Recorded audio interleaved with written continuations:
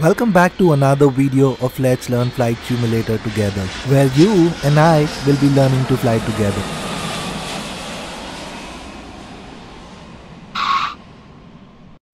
I am not an expert on these technologies, but let me cover some important information that can help your navigation skills in YS Flight Simulator. VOR or Very High Frequency Omnidirectional Range is a short range navigation aid. You can use VOR in YS Flight Simulator to navigate to your desired airport if 1. It is less than 100 miles or 100 kilometers for some airports away. 2. The airport you are trying to go to is equipped with the VOR technology. IFR or Instrument Flight Rule on the other hand is a long-range navigation aid. IFR in YS Flight Simulator is essentially your virtual air traffic controller that will provide you directions to the destination airport or ILS you select. Let's start by requesting approach to our destination airport that is Manila using IFR. To access IFR, open radio communication menu and click request approach. Select your desired destination approach by pressing the number button corresponding to that airport. Use next or previous button to see more airports. I'm going to press either 3 or 4 here to fly to Manila depending on what runway I want to approach. I am now going to take off and fly to 1500 feet. IFR should then provide us the heading and altitude to fly towards Manila.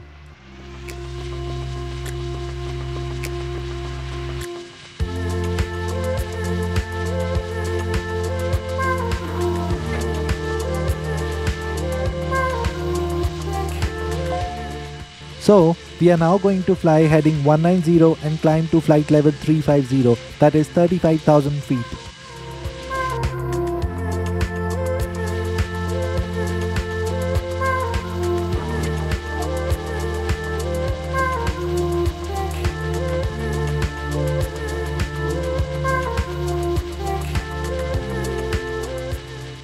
Let's talk about something called heading bug. By pressing select VOR button 4 times, you can select your heading bug. If you press rotate VOR button, you can see that the heading bug can be assigned to any compass heading. Using heading bug, you can change the aircraft heading even with the autopilot engaged. But you can only change the heading, you cannot change the altitude or airspeed. When you engage the autopilot in YS Flight Simulator, your aircraft will fly the airspeed and altitude you were at while you engage the autopilot. I'm going to climb to close to flight level 420 and descend rapidly so that when I engage the autopilot, I can be at a higher speed.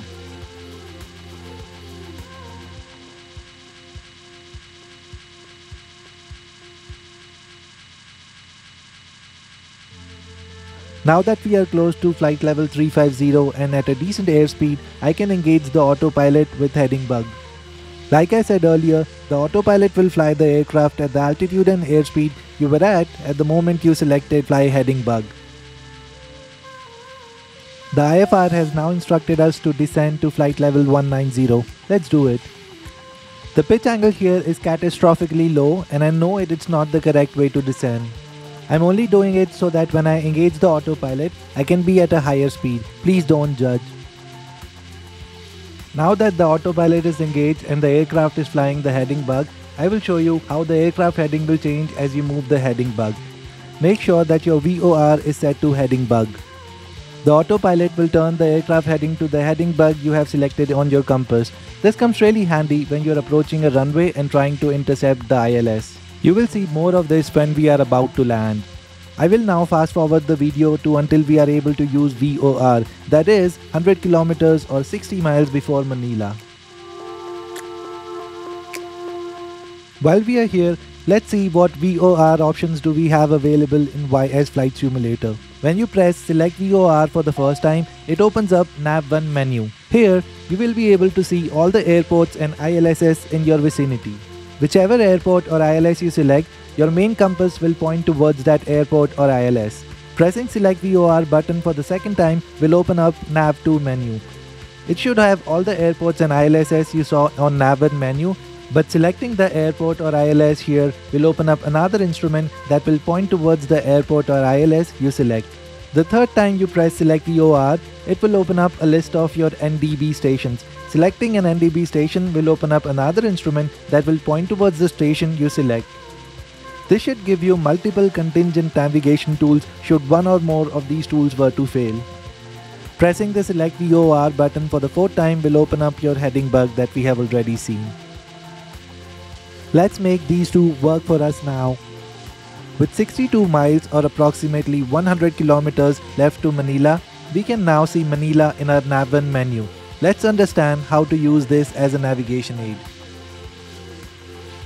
Use rotate VOR buttons to rotate the compass until the stray line in the side of the compass aligns with the center needle. Now, the direction towards which your center needle is pointing is the direction where the airport or ILS you selected is. Since our IFR is already taking us to Manila, the center needle is facing the heading at which the aircraft is flying. I have rotated the VOR 180 degrees to show that if you are flying in the direction opposite to the airport or ILS, the needle will face the bottom of the compass. Now let's select the Manila Airport in Nav2 menu. Like Nav1, we have to rotate the VOR until the needle is aligned with the center and this triangle is facing upwards.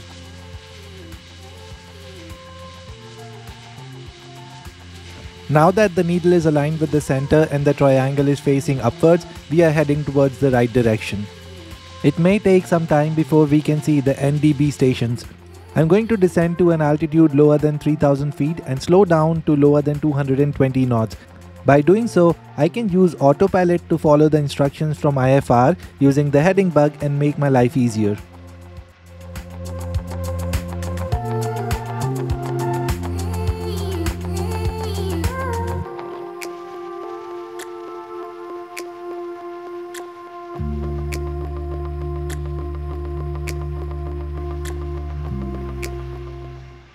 Let's see again if we can find Manila in the NDB stations list.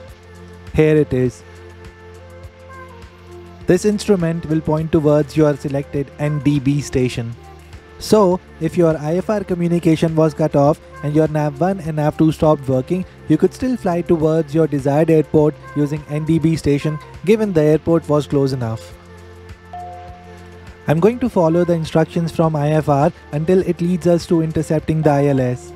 Also, if you noticed, I have reduced the visibility to 5 miles and added a bunch of low hanging clouds to make this flight a notch more difficult. Let's see if we can land this thing.